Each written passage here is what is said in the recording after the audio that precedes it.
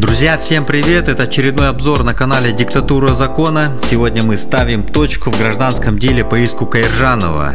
Наверное, помните, когда государственные органы пытались отжать когда-то законно легализованную квартиру в уже нашумевшем Баржансал Акмолинской области.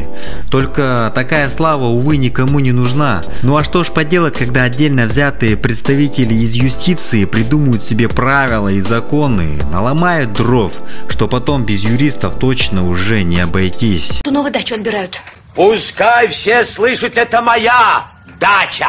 Числится вашей. А еще в поддержку к нерадивым руководителям добавляются руководители ЖКХ, которые активно защищали действия юстиции. И что неудивительно, и первыми написали апелляционную жалобу для отмены судебного решения. Все-таки надо тебе дать коленом. Надо. Надо! Если следовать логике и мнению руководителей юстиции, ЖКХ и прокуратуры Баржансал, то оказывается в нашей стране двойная регистрация это нормально. С таким успехом у нас, наверное, скоро появится одно удостоверение личности на два человека. Абсурдно, не правда ли? Я сейчас там так хохотался. Еще тогда, забежав немного вперед, мы решили сделать мат и на всякий случай перед вынесением судебного решения обратились в вышестоящие инстанции за разъяснением, прокомментировать нашу ситуацию. И тогда Генеральная прокуратура и Министерство юстиции Республики Казахстан в один голос разъяснили нам, что абсолютно да, это незаконно и мол, ребята, что вы хотите? Суд уже разрешил ваше дело в вашу пользу. Просто дождитесь вступления его в законную силу. Тогда возникает резонный вопрос, а почему мнение Управления юстиции на местах может отличаться от мнения Министерства юстиции Республики Казахстан? Ведь это одна вертикальная власть и в стране действуют одни и те же законы. Ах да, погодите, мы же забыли. Наверное, руководитель управления юстиции Бержан Сал сам придумывает себе законы.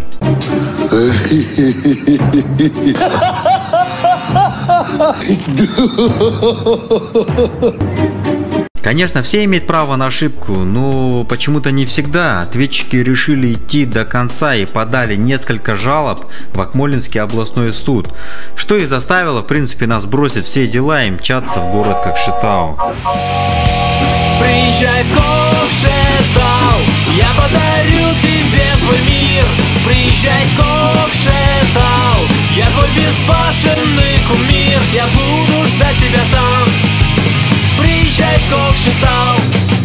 Когда начался суд, мы перешли к рассмотрению апелляционного ходатайства прокурора. Кстати, напомню, прокурор это блюститель закона, который зачастую защищает судебное решение первой инстанции.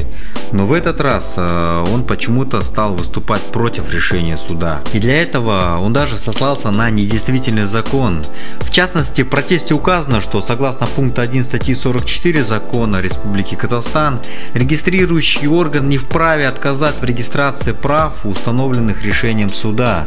Однако такое обязательство в законе появилось лишь после 27 апреля 2012 года, а мы разбираем ситуацию 2009 года. То есть мы понимаем, что таким образом прокурор изыскивает все возможности, чтобы положение участвующих лиц в суде было вне закона.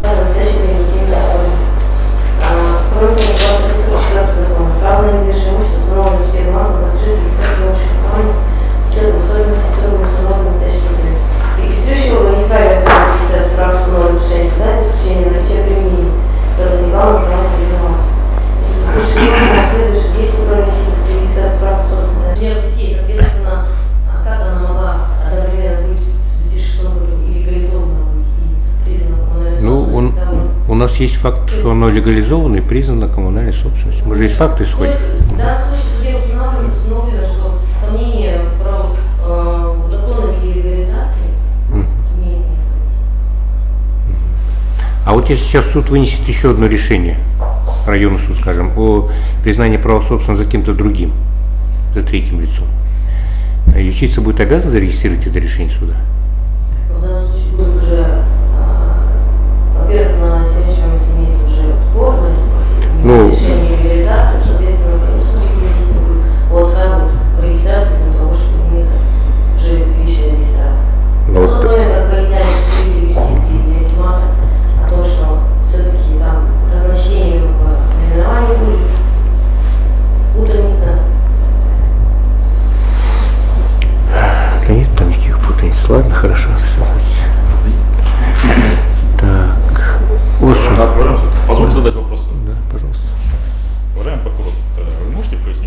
на сегодняшний день сложилась такая ситуация, когда э, на квартиру имеется два собственника, то есть это Каержанов и отдел ЖКХ. Как вы видите разрешение этой ситуации?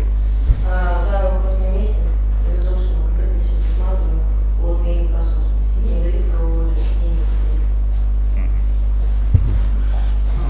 реплики хотел бы воспользоваться. Вот вы обосновываете же, вот у нас 427 статья ГПК РК, оно является исчерпывающим для изменения судебного решения. Вы приводите ссылку статьи, пункт 1 статьи 44, и, и опять же ее зачитали, о том, что а, судебное решение должно быть обязано зарегистрировать. И вы дочитываете там еще вот подпункт. Можно вот внимательно еще раз его прочитать, и как вы его понимаете? Ну, вот только что вы а, в качестве обоснования. Да. За исключением, вы сказали, что за исключением а, наличие обременений. Все, вот здесь запятая стоит. То есть должно быть какое-то обременение стоять, которое устанавливается судебным решением. То есть суд должен ее обременить сперва. Если будет такое обременение, только после этого нельзя регистрировать другое судебное решение. Это мы, я же правильно понимаю? А в данном случае нет уже другого судебного решения. Вы только начинаете регистрировать судебное решение. Ну просто я вам задаю вопрос, как вы понимаете, как вы это объясните тогда?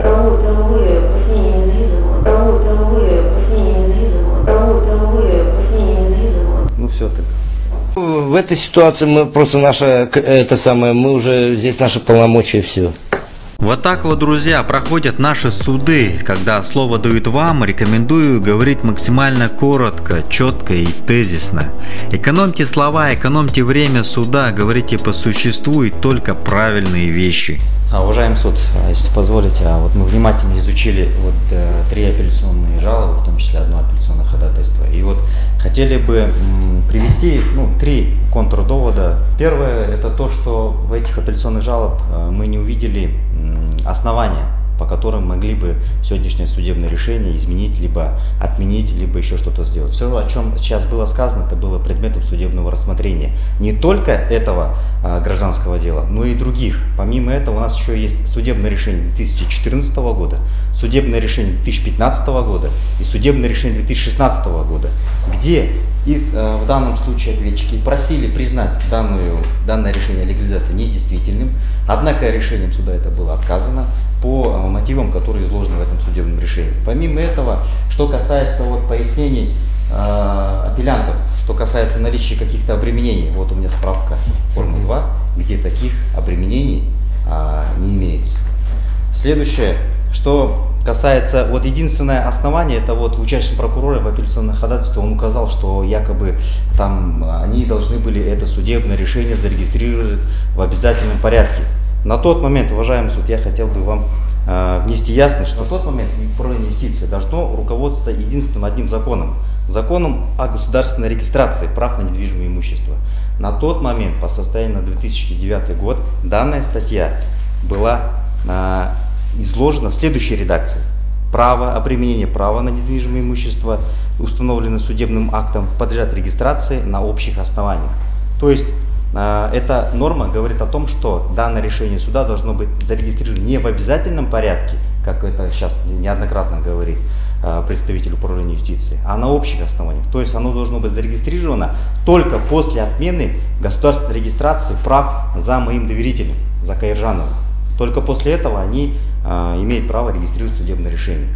И это лишний раз подтверждается уведомлением от 18 ноября 2008 года, где управление юстиции, вот как бы они подтверждают, что они дали отказ, и они это сделали правомерно. Но потом, как мы выяснили уже, и как поясняет сам представитель управления юстиции, на него было оказано какое-то давление, и они как произвели эту регистрацию как бы вопреки закону. Поэтому, уважаемый суд, мы считаем, что Сегодня на чашу весов поставлено три судебных акта с одной стороны, которые согласуются между собой, и один судебный акт 2007 года, который вообще не распространяется на эти взаимоотношения между Каиржановым и управлением юстиции. И сегодняшний предмет судебного рассмотрения также согласуется с этими тремя судебными решениями. Поэтому я считаю, что мы не можем вообще вопреки пойти трем другим судебным решениям и считаем, что данная персональная жалоба подана преждевременно и необоснованно. Хорошо. Заключение прокурора по делу.